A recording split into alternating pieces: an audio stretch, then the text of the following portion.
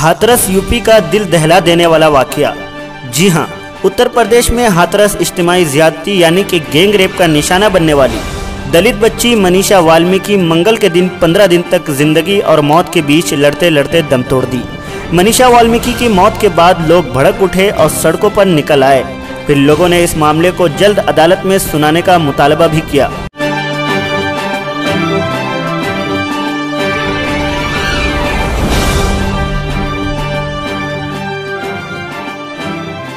पेश है आपकी नज़र एसएमएस मीडिया की खबर।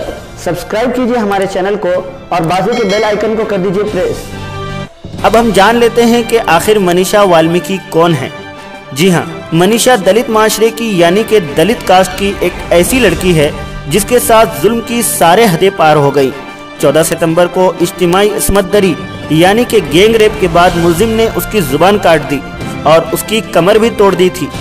सोमवार के दिन मनीषा वाल्मीकि को दिल्ली के सफदरजंग हॉस्पिटल में लाया गया था और मनीषा का इलाज यहाँ जारी था। पंद्रह दिन के बाद जब मामला लोगों के सामने आया, तब रियासती हुकूमत और पुलिस जाग उठी। हतरास के पुलिस ऑफिसर विक्रंत वीर ने बयान के वक्त तशद का निशाना बनने वाली मनीषा वाल्मीकि की तस्दीक करते हुए कहा कि मुलजिम ने पहले इसकी ज़ुबान काट दी और उन्होंने ये भी बताया कि हमने इससे पहले भी छेड़छाड़ का मुकदमा दर्ज किया था। लेकिन बाद में इस बच्ची के वाक़े की बुनियाद पर एस सी एस टी मुजालिम की रोकथाम एक्ट गैंग रेप और कत्ल की कोशिश के खिलाफ मुकदमा दर्ज किया है।